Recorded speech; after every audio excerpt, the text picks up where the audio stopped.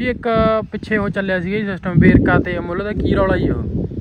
ਹਾਂਜੀ, ਸਤਿ ਸ਼੍ਰੀ ਅਕਾਲ ਜੀ। ਸਵਾਗਤ ਹੈ ਸਾਰਿਆਂ ਦਾ ਚੈਨਲ ਦੇ ਉੱਪਰ। ਮੈਂ ਕਾਫੀ ਟਾਈਮ ਦਾ ਸੋਚ ਰਿਹਾ ਸੀ, ਕਿਤੇ ਤਾਂ ਸੋਚਦਿਆਂ ਵੀ ਨਾ ਬਣਾਈਏ ਵੀਡੀਓ ਯਾਰ ਆਪਾਂ ਕੀ ਲੈਣਾ ਥੋੜਾ ਵੱਡੇ ਲੈਵਲ ਦੀਆਂ ਗੱਲਾਂ ਪਰ ਕਿਤੇ ਨਾ ਕਿਤੇ ਲੱਗਦਾ ਵੀ ਯਾਰ, ਜਿਹੜੇ ਛੋਟੇ ਕਿਸਾਨ ਹੈ, ਉਹਨਾਂ ਨੂੰ ਕੋਈ ਨਾ ਕੋਈ ਜਾਣਕਾਰੀ ਨਹੀਂ ਪ੍ਰੋਪਰ ਹੁੰਦੀ। ਇਹਨੂੰ ਤਾਂ ਮਤਲਬ ਇਸ਼ੂ ਬਣਾ ਕੇ ਕਈ ਤਾਂ ਵਿਊ ਲੈਣ ਦੇ ਮਾਰੇ, ਕੋਈ ਕੁਝ ਕਰ ਦਿੰਦਾ, ਕੋਈ ਕੁਝ ਕਹਿ ਦਿੰਦਾ। ਪਰ ਉਹ ਗੱਲਾਂ ਨਹੀਂ, ਇਹਦੇ ਵਿੱਚ ਦੇਖੋ ਸਭ ਤੋਂ ਪਹਿਲੀ ਗੱਲ ਤਾਂ ਵੇਰਕਾ ਜਿਹੜਾ ਇੱਕ ਸਰਕਾਰੀ, ਅਰਧ ਸਰਕਾਰੀ ਅਦਾਰਾ ਹੈ, ਮੰਨ ਲਓ ਸਰਕਾਰੀ ਮੰਨ ਸਕਦੇ ਇਹਨੂੰ। ਇਹ ਕੀ ਕਰਦਾ ਲੋਕਾਂ ਤੋਂ, ਜਿਵੇਂ ਅੱਜ ਤੋਂ ਕਾਫੀ ਟਾਈਮ ਪਹਿਲਾਂ ਸ਼ੁਰੂ ਹੋਇਆ ਸੀ।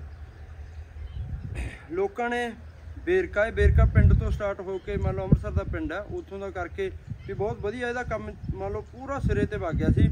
ਹੁਣ ਵੀ ਕੰਮ ਨਹੀਂ ਮਾੜਾ। ਸਭ ਤੋਂ ਰੇਟ ਇਹ ਲਗਭਗ ਵੱਧ ਹੀ ਦਿੰਦੇ ਹੁੰਦੇ ਆ।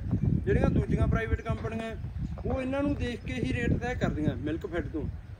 ਤੇ ਇਹ ਰੇਟ ਹੁਣ ਸਾਰਾ ਕੁਝ ਸਹੀ ਚੱਲੀ ਜਾਂਦਾ, ਪਰ ਕਿਤੇ ਨਾ ਕਿਤੇ ਇੱਥੇ ਵਿੱਚ ਨਾ ਜਿਹੜੀ ਅਫਸਰਸ਼ਾਹੀ ਜਾਂ ਸਾਰੇ ਨਹੀਂ ਕਹਿ ਸਕਦੇ ਵਿੱਚ ਮਾੜੇ ਲੋਕ ਹੁੰਦੇ ਆ। ਬਹੁਤ ਘਪਲੇ ਕਰੇ ਆ ਉਹਨਾਂ ਨੇ, ਜਿਹੜੇ ਕਿ ਵੇਰਕਾ ਨੂੰ ਘਾਟੇ ਵੱਲ ਲੈ ਜਾਂਦੇ ਆ। ਪਿੱਛੇ ਜੇ ਤਾਂ ਜਮੇ ਬੰਦ ਹੋਣ ਤੇ ਆ ਗਿਆ ਸੀ। ਹੁਣ ਵੀ ਮੰਨ ਲਓ ਇੰਨਾ ਦੁੱਧ ਇਕੱਠਾ ਕਰਦੇ ਆ, ਮੰਨ ਲਓ ਉਹਨੂੰ ਪ੍ਰੋਸੈਸ ਕਰਦੇ ਆ, ਬਹੁਤ ਡਿਮਾਂਡ ਹੈ ਮਾਰਕੀਟ ਦੇ ਵਿੱਚ। ਪਰ ਫਿਰ ਵੀ ਕਹਿੰਦੇ ਵੀ ਘਾਟੇ ਜਾ ਰਿਹਾ। ਨਵੇਂ ਫਾਰਮ ਨੰਬਰ ਨਹੀਂ ਦੇ ਰਹੇ। ਪੁਰਾਣਾ ਦੁੱਧ ਆ ਜਿਹੜਾ, ਉਹੀ ਨਹੀਂ ਇਹਨਾਂ ਤੋਂ ਸਾਂਭਿਆ ਜਾ ਰਿਹਾ। ਅਮੋਲਾ ਜਿਹੜਾ, ਇਹ ਗੁਜਰਾਤ ਦੀ ਕੰਪਨੀ ਹੈ, ਇਹ 'ਚ ਕੋਈ ਸ਼ੱਕ ਨਹੀਂ। ਚਲੋ, ਆਪਾਂ ਇਹ ਨਹੀਂ ਕਹਿੰਦੇ ਵੀ ਗੁਜਰਾਤ ਦੀ ਕੰਪਨੀ ਮਾੜੀ ਹੈ। ਜਦੋਂ ਆਪਾਂ ਨੂੰ ਕਿਸਾਨ ਨੂੰ ਰੇਟ ਦੇ ਰਹੀ ਹੈ। ਪਰ ਇੱਥੇ ਕੀ ਕਹਿੰਦੇ ਆ ਵੀ ਇਹ ਉਧਰ ਲੈ ਜਾਣਗੇ, ਉਹ ਲੈ ਜਾਣਗੇ, ਪਰ ਪ੍ਰੋਫਿਟ ਤਾਂ ਦੇ ਰਹੇ ਨਾ ਆਪਾਂ ਨੂੰ। ਉਹ 1-2 ਰੁਪਏ ਹੁਣ ਬੇਰਕਾ ਨਾਲੋਂ ਵੱਧ ਦੇ ਰਹੇ ਆ।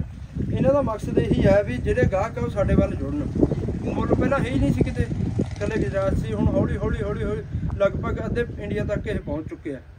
ਤੇ ਵੀ ਗੱਲ ਕਰਦੇ ਆ ਸਭ ਤੋਂ ਵੱਡੀ ਗੱਲ ਇਹੀ ਹੈ ਇਹਦੇ ਵਿੱਚ ਵੀ ਜਿਹੜਾ ਇਹਦੇ ਵਿੱਚ ਅਫਸਰਸ਼ਾਹੀ ਬੇਈਮਾਨੀ ਕਰਦੀ ਹੈ, ਜੇ ਉਹ ਕਰਨੋਂ ਹਟ ਜੇ, ਤਾਂ ਵੇਰਕਾ ਜਿਹੜਾ ਉਹ ਬਚ ਰਹੇ। ਨਹੀਂ, ਕਿਤੇ ਨਾ ਕਿਤੇ ਜੇ ਵੇਰਕਾ ਬੰਦ ਹੋ ਗਿਆ, ਆਪਣੇ ਦੁੱਧ ਦਾ ਜਲੂਸ ਨਿਕਲ ਜੂ, ਇਹਨਾਂ ਨੇ ਜਮਾ ਹੀ ਰੇਟ ਨਹੀਂ ਦੇਣਾ। ਪ੍ਰਾਈਵੇਟ ਕੰਪਨੀਆਂ ਦਾ ਸਾਰਾ ਇਹ ਤੋਂ ਘਟਾ ਕੇ ਦਿੰਦੀਆਂ।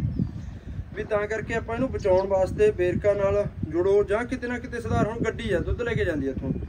ਉਹ ਸਿੱਧਾ ਕਹਿ ਦਿੰਦੇ ਆ, ਬਾਈ ਯਾਰ, ਇੱਕ ਪੁਆਇੰਟ ਛੱਡ ਕੇ ਲਿਖ ਦੇ ਦੋ ਪੁਆਇੰਟ ਮੈਂ ਕਿਹਾ ਵੀ ਕਿਉਂ? ਕਹਿੰਦੇ, ਬਾਈ ਯਾਰ, ਸਾਨੂੰ ਨਹੀਂ ਕੁਝ ਬਚਦਾ। ਟੈਂਡਰ ਘੱਟ ਕੇ ਚੱਕ ਲੈਂਦੇ ਆ ਵੀ ਟੈਂਡਰ ਚੱਕਣ ਵੇਲੇ ਦੇਖੋ, ਪਰ ਉਹ ਵੀ ਕਿਤੇ ਨਾ ਕਿਤੇ ਮਜਬੂਰ ਹੁੰਦੇ ਆ। ਗੱਡੀਆਂ ਵਾਲੇ ਵੀ ਉਹਨਾਂ ਨੂੰ ਕਿਸ਼ਤਾਂ ਭਰਨੀਆਂ ਹੁੰਦੀਆਂ, ਉਹ ਚਲੋ ਚੱਕ ਲੈ ਟੈਂਡਰ ਇੱਕ ਢੋਲ ਮਗਰ 1 ਲੀਟਰ ਕੱਢਦੇ ਆ।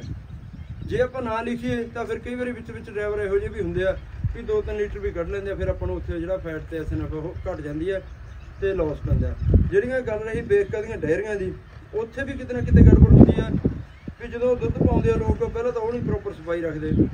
ਜੇ ਰੱਖਦੇ ਵੀ ਆ ਦੁੱਧ ਖਰਾਬ ਹੋਣ ਤੋਂ ਜਿਵੇਂ ਗਰਮੀ 'ਚ ਹੈ ਦਵਾਈ ਕਹਿੰਦੇ ਉਹਨੂੰ। ਹੁਣ ਚਲੋ ਆਪਾਂ ਨਾਂ ਤਾਂ ਨਹੀਂ ਲੈਂਦੇ ਸਾਲਟ ਦਾ ਬਹੁਤ ਹੀ ਜਿਹੜਾ ਹਾਨੀਕਾਰਕ ਹੈ ਉਹਦੇ ਵਿੱਚ ਪਾ ਦਿੰਦੇ ਆ ਜਦੋਂ ਉਹ, ਤੇ ਉਹ ਦੁੱਧ ਖਰਾਬ ਨਹੀਂ ਹੁੰਦਾ। ਭਾਵੇਂ ਕਿਵੇਂ ਪਿਆ ਰਹੇ? ਉਹ ਸਾਰਾ ਅਕਸਰ ਮਿਕਸ ਹੋ ਕੇ ਜਾਂਦਾ ਤਾਂ ਫਿਰ ਉੱਥੇ ਹੀ ਪ੍ਰੋਸੈਸ ਹੋ ਕੇ ਫਿਰ ਹੁੰਦਾ। ਹੈ। ਹਜੇ ਇੱਧਰ ਦੂਜੇ ਸ਼ਹਿਰਾਂ ਦੇ ਮੁਕਾਬਲੇ ਬਠਿੰਡੇ ਦੇ ਵਿੱਚ ਫਿਰ ਵੀ ਕੁਝ ਨਾ ਕੁਝ ਸੁਧਾਰ ਹੈ।